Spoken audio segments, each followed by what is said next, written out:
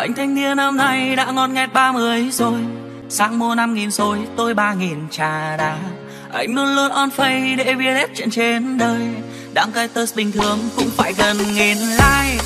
Anh thanh niên năm nay vẫn chẳng thấy vợ con gì. Anh nói mấy cô yêu nhưng anh không cần người yêu. Ba má anh sang ra vẫn vội vã chạy đi làm. Anh nói anh còn nhỏ nên đã biết làm gì đâu.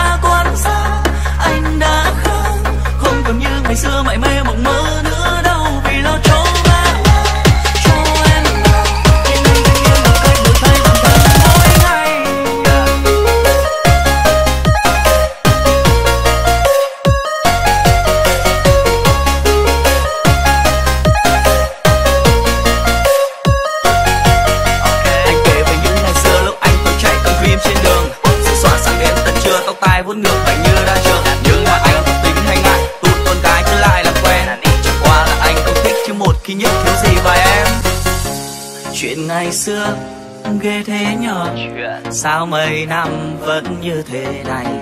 Chuyện thật hay anh nói đùa cứ nói đi rồi lòng làm chi? Anh thanh niên hôm nay thức dậy sớm từ 6 giờ Dũng ma đi chợ sáng mua rau thịt về nấu. Anh lên online face đăng test kiếm tìm công việc. Anh biết mình đã lớn nên phải trưởng thành hơn. Anh thanh niên hôm nay đã nghĩ đến chuyện gia chưa có ai yêu anh biết lấy vợ làm sao? Mấy cô gái anh khoe hóa ra cũng chỉ nói sao? Chẳng có chi là thật anh cứ mơ mộng vậy thôi. Kể từ khi anh gặp cô gái rồi Cứ thế lòng tận thơ đêm ngày ôm nhớ mong. Và tôi chợt nhận ra anh đã yêu mất rồi. Chẳng giống như lúc xưa giờ anh đã khác Là do em tất cả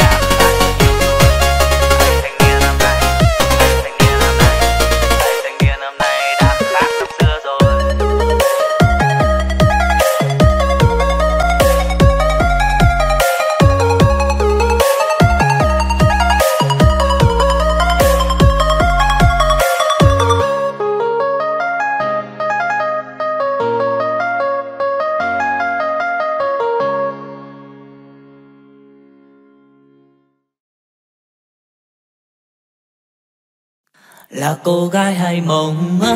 Xinh đẹp như thiên sáng trời. Người đã khiến tôi thân thờ. Cho ngày qua tôi thân thờ. Cho tôi nhung nhớ bao nhiêu muốn nói với em bao điều rằng tôi đã thương em nhiều. Yêu em từ lâu em biết cha chẳng giống mấy cô người mong. Em xinh cô gái hiền chẳng son phấn tô sáng màu em giản chỉ cao một mét năm hai nhưng sao đáng yêu, dịu dàng đôi môi thắm duyên nụ cười thôi thì là duyên, nếu mười thuận thì tôi xa cứ chuyện mẹ cha xin được đến cờ cho thương em để lâu hát em âu sầu này nói ra cho hết đau đầu. Cho hết cho hết đau đầu, baby.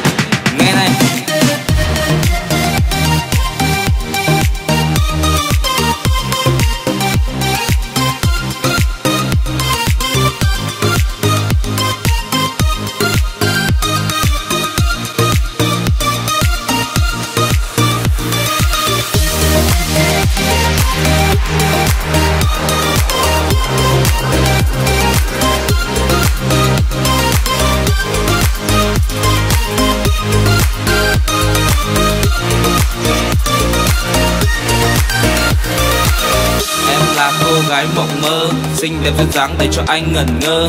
Bao nhiêu năm giờ vì vương mối tình tơ đêm, ôm nỗi nhà thao thức vẫn cho em vần thơ vì anh nhá. Đưa em mất rồi mà em với vô tư vậy thôi, vẫn không muốn chung đôi, chẳng để ý đến tôi. Để sau ba năm chờ đợi, anh đến sao vẫn đơn côi? Nói với anh chỉ buồn lời rằng sẽ bên anh đến trọn đời trước giờ anh vẫn khen với cô đơn. Hơn mấy ngày anh sẽ yêu thương em nhiều hơn anh. Chẳng cần biết người trước kia bên em là ai. Chỉ cần là anh từ giờ đến muôn đời mãi thì dù anh có nói thì mình hơi sai sai em vẫn sẽ đưa em thôi thì là duyên nếu mới thuận thì tôi sao đưa chuyện mẹ cha xin đường em.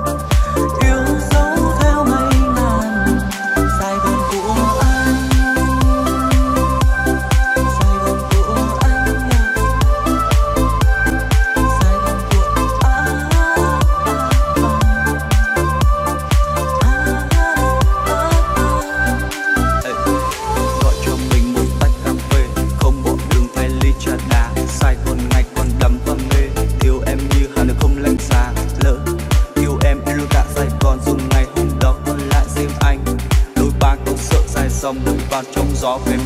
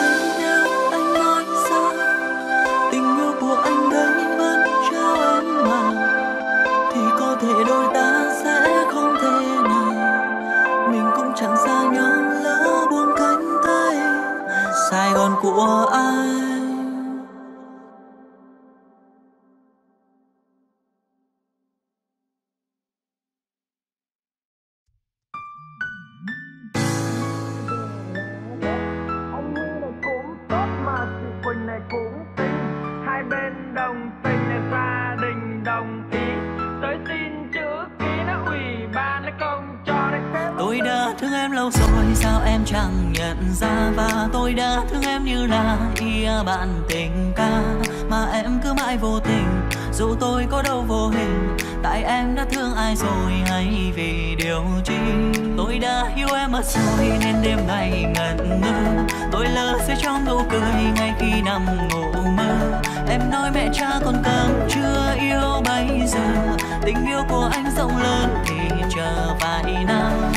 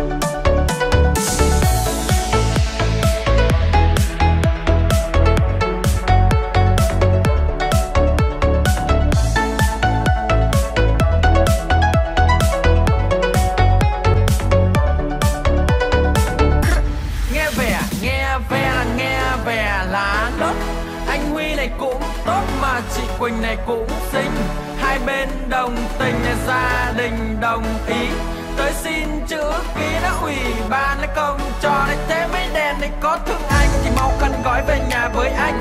Mẹ anh đang mong có cháu là là tình hình mình hãy tính anh thương em thì cũng đã lâu, chỉ cần chờ em đồng ý gật đôi ấy mà biết em sắp làm cô dâu đầu, anh như muốn nổ tung vì sao? Anh biết anh chẳng bằng ai, người như cái sao cao mét bảy hai.